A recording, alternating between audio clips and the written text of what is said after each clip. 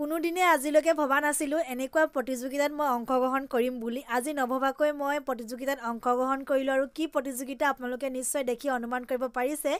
জাতীয় সাজপাৰ প্ৰতিযোগিতা আছিলে আমাৰ নামৰূপ তাপবিদ্যুৎ কেন্দ্ৰৰ বহাগী উৎসৱত। তাতে আজি মই অংশগ্ৰহণ কৰিলোঁ। একেবাৰে অভিজ্ঞতা নাই। কলেজ উইকত কেতিয়াও মই অংশগ্ৰহণ কৰা নাছিলোঁ। এনেকুৱা প্ৰতিযোগিতা বহুত পাৰ কৰি আহিলোঁ। কিন্তু আজি নভবাকৈ প্ৰতিযোগিতাত অংশগ্ৰহণো কৰি দিলোঁ।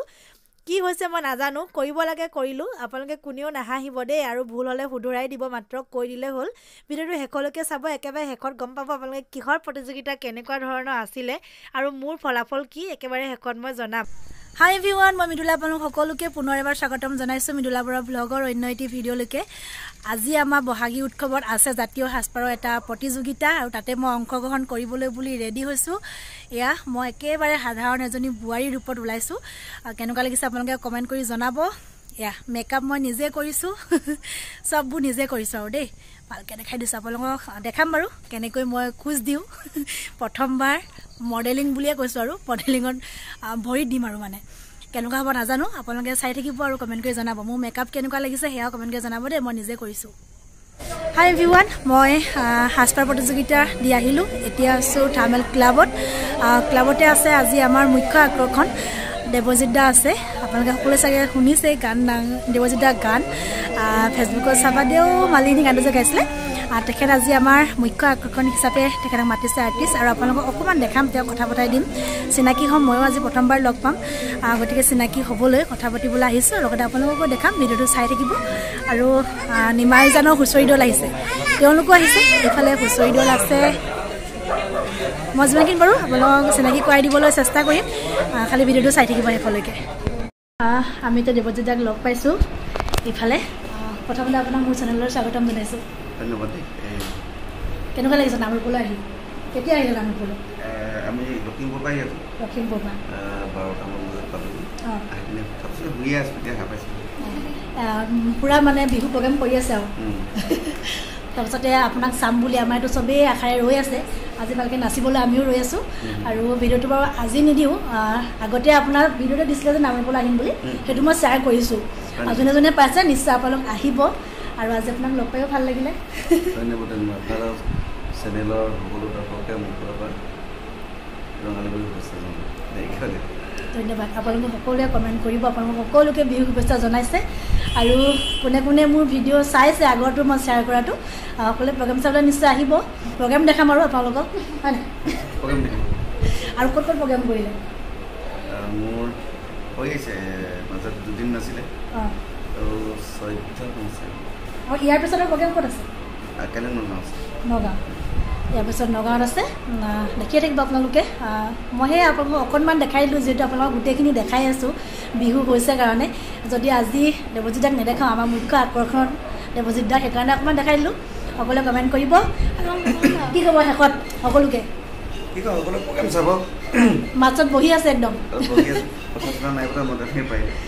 ঠিক আছে গান গাব লাগিব সেইকাৰণে বেছি কথা নাপাতে এতিয়া।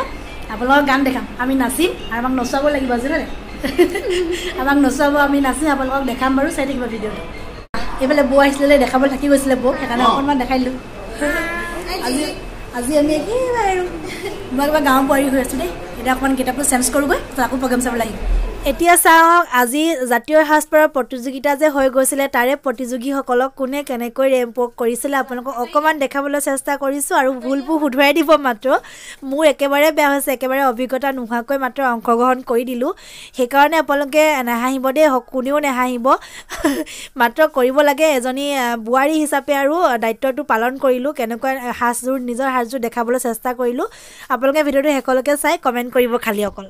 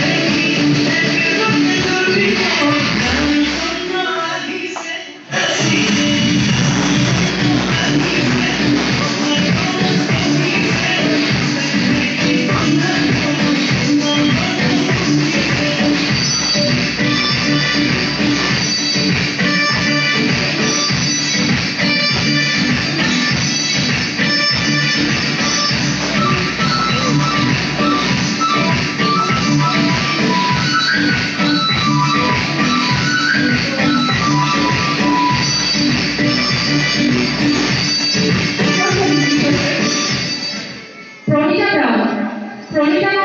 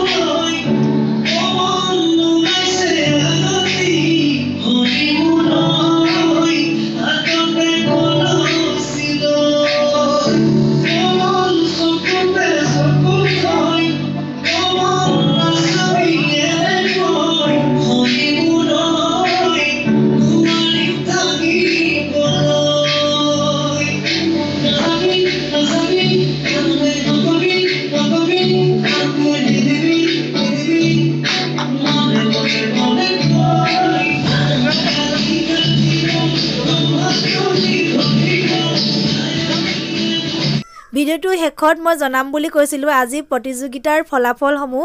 আজি প্ৰতিযোগিতাৰ ফলাফল মোৰ বেয়া কাৰণ মই পাম বুলি কেতিয়াও ভবাই নাছিলোঁ মাত্ৰ অংশগ্ৰহণ কৰিছিলোঁ যে এনেকুৱা প্ৰতিযোগিতাত কেতিয়াও অংশগ্ৰহণ কৰা নাছিলোঁ স্কুল বা কলেজত কলেজ উইকত। সেইকাৰণে এতিয়া বোৱাৰী হোৱাৰ পিছত অকণমান সুবিধা পাই পেলাই অংশগ্ৰহণ কৰিলোঁ মাত্ৰ শিকিবলগীয়া কথা কিছুমান শিকিব পাৰিম বুলি অভিজ্ঞতা ল'বৰ কাৰণেহে অংশগ্ৰহণ কৰিছিলোঁ আৰু খুবেই বেছি ভাল লাগিলে অংশগ্ৰহণ কৰি। এনেকুৱা প্ৰতিযোগিতাও পাতি থাকিব লাগে সময়ত তেতিয়া বোৱাৰীসকলেও অকণমান সুবিধা পায় আৰু শিকিবলগীয়া কথাবোৰ শিকিব পাৰে যিবোৰ কথা আজিলৈকে আমি নাজানো বা জনাই নাছিলোঁ অংশগ্ৰহণ কৰিলেহে গম পাম। গতিকে খুব বেছি ভাল লাগিলে আপোনালোকে উৎসাহিত কৰিব আৰু কেনেকুৱা লাগিলে কমেণ্ট কৰি জনাবলৈ নাপাহৰি দেৱজিৎ দা গীতৰ ঘৰে আৰম্ভ হৈ গ'ল আৰু আমাৰ নাচনীসকলে খুব নাচিছে আৰু এইখিনিকে দেখাই আজি আপোনালোকৰ পৰা বিদায় লওঁ। আজি ভিডিঅ'টো চাই আপোনালোকক কেনেকুৱা লাগিলে সেয়া কমেণ্ট কৰি জনাব। যদি ভাল লাগে তেতিয়াহ'লে লাইক কৰিব শ্বেয়াৰ কৰিব চেনেলটো ছাবস্ক্ৰাইব কৰিব। আৰু পেজটো সকলোৱে ফ'ল' কৰিব তেতিয়াহ'লে আকৌ লগ পাম খুব সোনকালে অন্য এটা ব্লগৰ সৈতে। বাই বাই এভি